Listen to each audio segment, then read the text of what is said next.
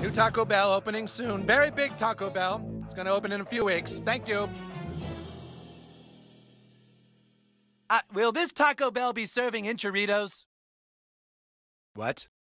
Is it gonna be a full menu Taco Bell, or is this gonna be one of those Taco Bell KFC combos? We got a guy out here asking a lot of questions.